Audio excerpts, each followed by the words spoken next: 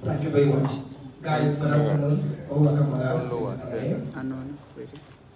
Um, I first of all want to bring to the fore that leadership entails the person of persons ruling, but good leadership entails the person of persons ruling and the person of persons being ruled. My father once told me that Maga, to be a leader, there is a cause to be met. And that cause to be met, you have to be psychologically and socially ready. If you are, then you can be. In our country and in the world over, when we actually opinionate on leadership being uh, primacy in terms of nation development, we need to take cognizance that it takes you and I, the local individuals, and those being in that high official status, for us to work cooperatively to that particular cause. And due to that, I've just orchestrated some basic elements in which I ostensibly put into two divisions. The first is qualities, and the second is indicia stroke, what you must do. First of all, as qualities, there must be humility, integrity, and fidelity. Humility to me is one of the key elements that one can use to success. Not just those big officials, but even amidst ourselves. When we reach a particular peak, wherein we are full of valor or esteem, we tend to be proud. And even the Bible says those who are Christians will be a witness that God accepts the humble and resists the pride. So for every good leader, I've seen in Bible stories, there must be humility and also integrity. Integrity is not just your refusal to do what is wrong, but there must be an instantaneous and constant conscious and subconscious mind to refuse ill conduct. And by that, we can be at the peak where we can say we're in the position that we are having good leadership. Mind you, I did say good leadership is not just those who are leading, but it takes you and I to work with them cooperatively. And also fidelity. There is a cause to be met. And for this cause to be met, there must be righteousness, there must be faithfulness, just like the Coventonians who are faithful than every other guy's cause. Yeah. So if there is a particular cause, well now let's say this leader is a political leader, and the goal to be achieved is to actually meet the interest of those who have been governed. So that cause must be pursued with faithfulness, with no iota of distractions, and that's cause be no matter what. And also transparency, accountability, and fulfillment. As a leader, we must be transparent. In our little corners, when we are giving something to share with others, do not take a greater part in which some of it do not belong to you. Let's be transparent and also be accountable in whatever position we are given to execute and let's fulfill our obligation. Enforceability and respect of laid down rules without fear, favor, ill will, or affection. We must first of all respect the rules and policies that govern us as organization or as a nation. If we do not respect those rules, it becomes a maneuvering for those enforcers to enforce them as the law discretion. For example, we have basically that everyone must have their face mask on. Let's look at ourselves. Do we? Likewise me. And this itself shows an antagonistic point of how we do not respect our laws that govern us. And also, as a quality, there must be an equitable distribution of the cause in relation to resources and opportunities. Let us not give an ostensible perspective to those who are ruling let's come down to ourselves in our homes, in our schools. Are we equitably distributing the sources being given to us to be shared among others? Are we equitably executing those functions? If we are not, then I see no better future for Sierra because we are the next leaders and we have to start with these qualities. And also let's be a voice.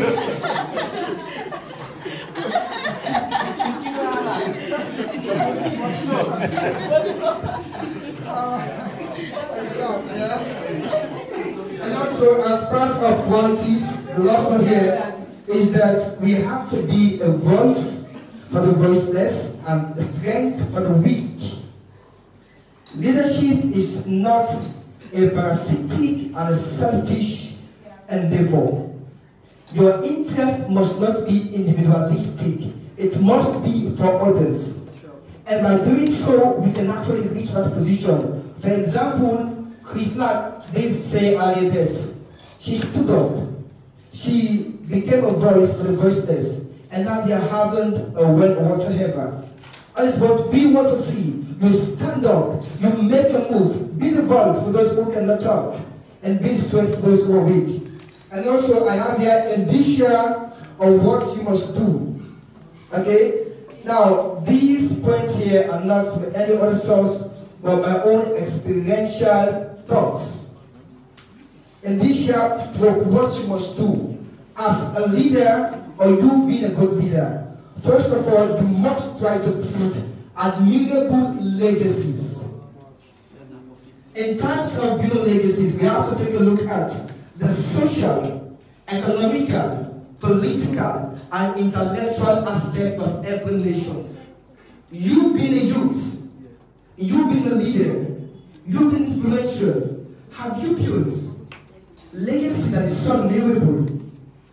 Let's take uh, uh, uh, a deep thoughts 10 years back.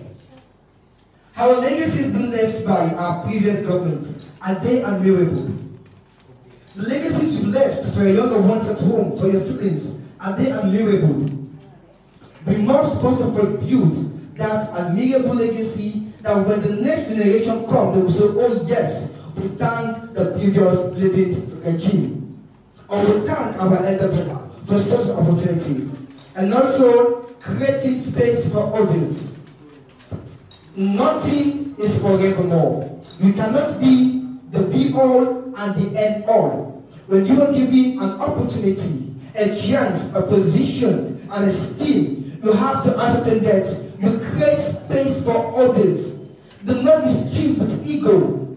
Do not be so pompous that you are just the only one. And they will come to leave a particular position. And what have you done? Some of us went we have given uh, opportunities, for example, I'm a of grant. I would like to be forevermore. And I will not try to actually impact others. Look at my life. I did this, this, and this, and today I'm the secretary.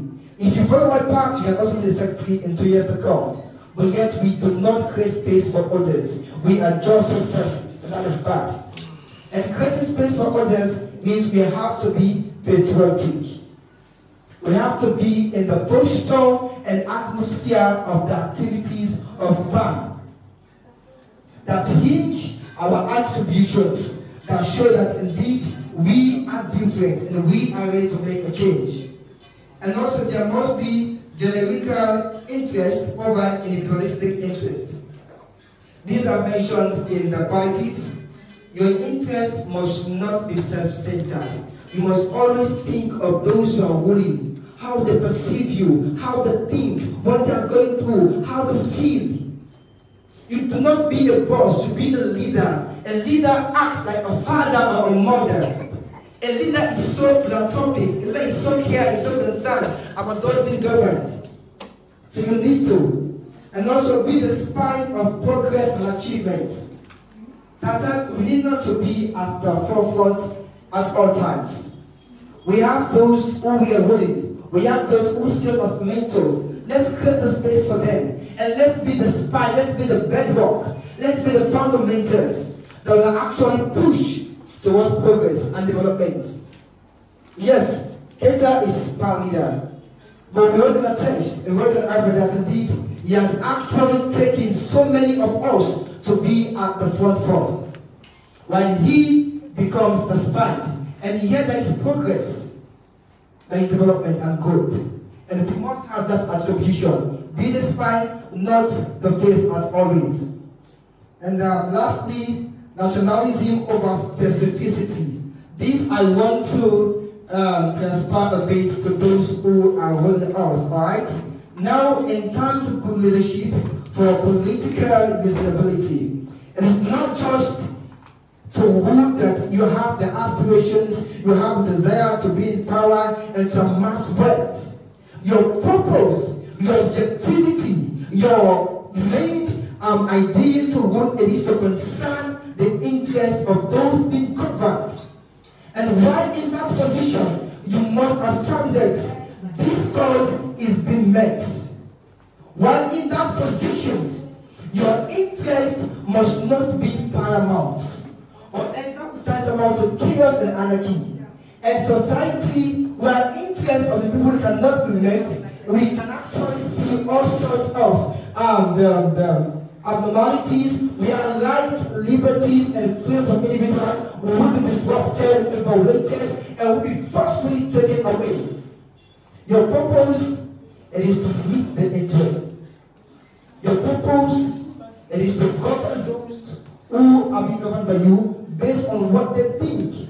Because this is a democratic century, and we must exhibit that not just in higher level, but also in our little corners, in our schools, our homes, wherever you are. When you're giving a responsibility, you must have that that responsibility, that obligation meets those in which they are for.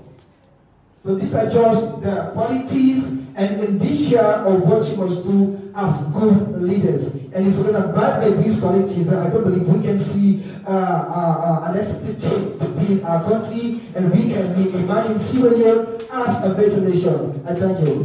Thank you. Give him a round of applause. Let's clap for Mr. Abubakarr. And thank you for such great and wonderful contribution. Hmm? Yes.